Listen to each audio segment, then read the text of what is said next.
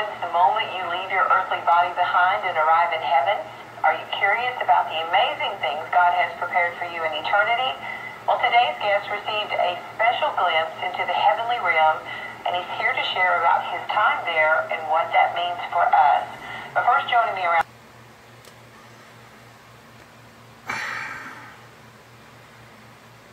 I apologize for the little bit of the sarcasm. However, I know there's people out there that get emotional and they favor this. And with all fairness, I guess that's cool, but for other people, obviously, who don't take this seriously at all, not only is that statement what that lady just said from this Christian program, uh, would they actually prey on people's um, ignorance and then they actually get them hook, line, and sinker into believing in something that only has empty promises. And I mean empty promises. So, in other words, what I'm trying to say is if you actually buy into this crap, then I have a bridge to sell you.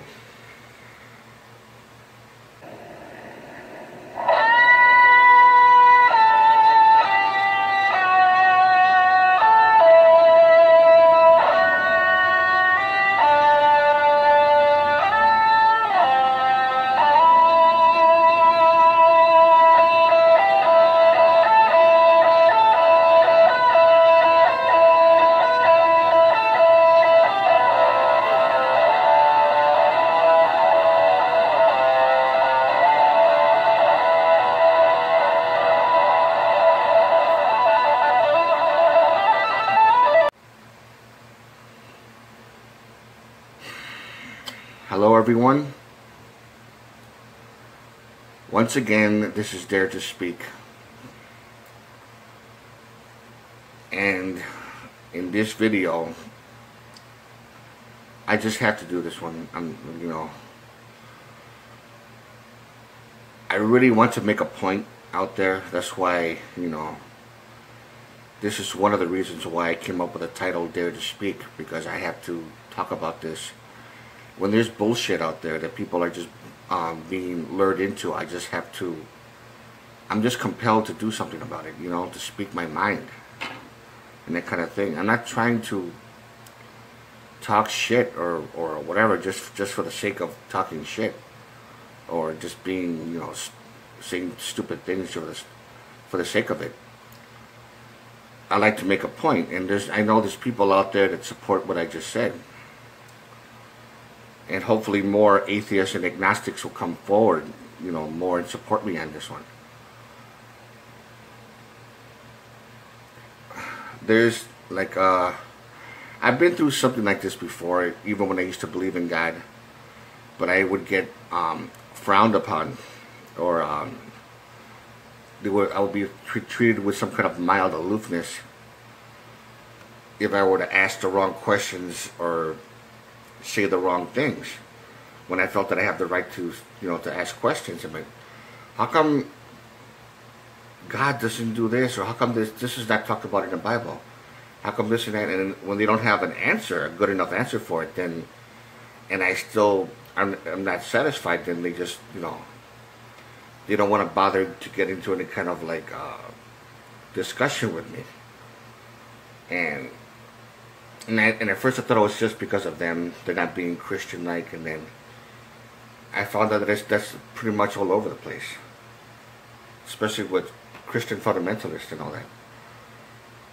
Um, however, with all that being said, uh, I want to share with you this one also. I'm good, and I love these programs. Look, I'm already getting emotional. but it's just, I was reading the notes for this show, and I just love our God so much. Oh, I know. You know, yeah. and I'm. There really is a oh, place called heaven. There is a We're place and we have lots of friends and loved ones that are already there. We do. We do. we do. You know, and so it's going to be an awesome day yeah. when that finally happens. Yeah. But I, I love this. This is going to be an awesome show. And you could actually try to understand the uh, big time arrogant certitude of that. And it is an arrogant certitude. There is a place called heaven, and we're all, and those of us that accept Jesus are going to go there. And they make it sound okay. It's it's nice. Okay, I understand.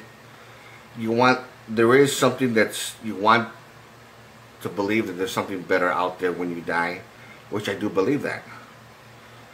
But I have a prob. What I have a problem with is um, the arrogant certitude of the whole concept of heaven and God and all that stuff like that. My point of view of God, which I explained before, even in that one video, what happens when you die or I explained completely what happens when you die, and and I said I even said before this is, and I wasn't being or using arrogant certitude myself.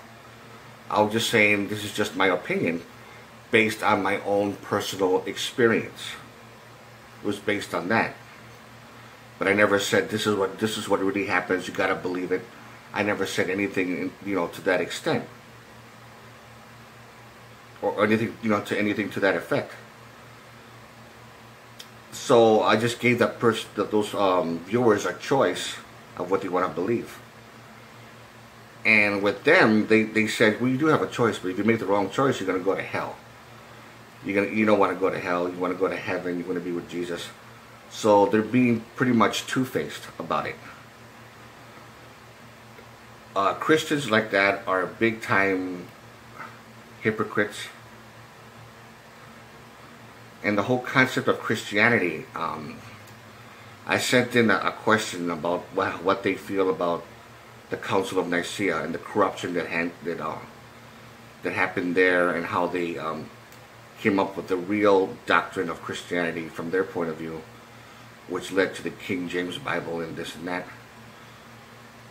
um, the New Testament, and of course.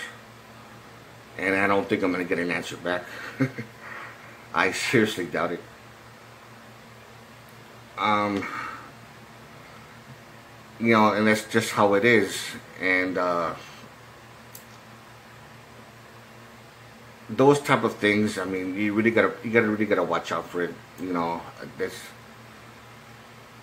Oh my God, there's just you know so much crap that they're they're trying to cram down your throat, try to mic, you know how they try to uh, brainwash you into believing.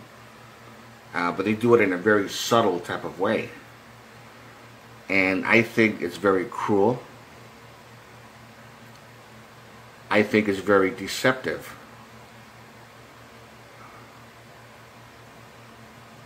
And most importantly of all, I believe it's wrong.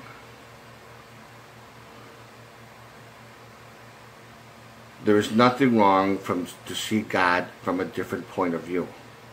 Now this is coming from an agnostic me, an agnostic. This is coming from a true agnostic. The true concept of God is really different.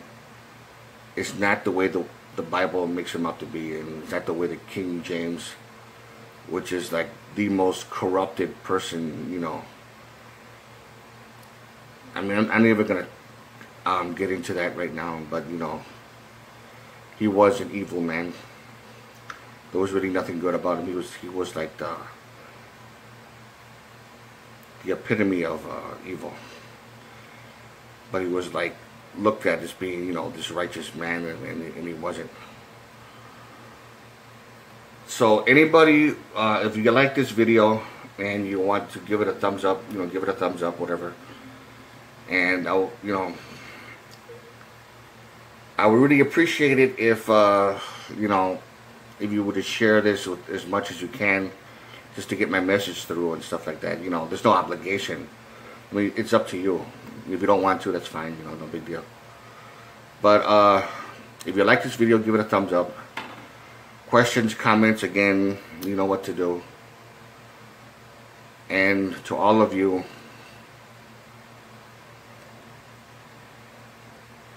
take care.